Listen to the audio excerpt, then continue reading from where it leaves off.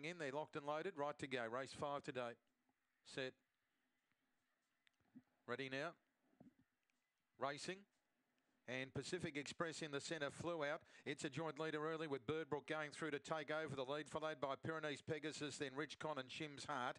Further back, Singing Flame, followed by Phoenix Flight, Mattingly Magic, the tail ender. On the turn, Birdbrook out by four to Pacific Express and Pyrenees Pegasus, and then Shim's Heart and Singing Flame. They turn though. Front runner Birdbrook, Pacific Express picking up late, but Birdbrook doing it well and goes all the way.